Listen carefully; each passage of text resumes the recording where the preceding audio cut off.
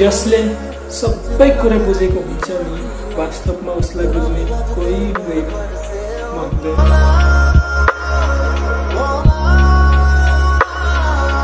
Subscribe now and press the bell icon. Never miss an update.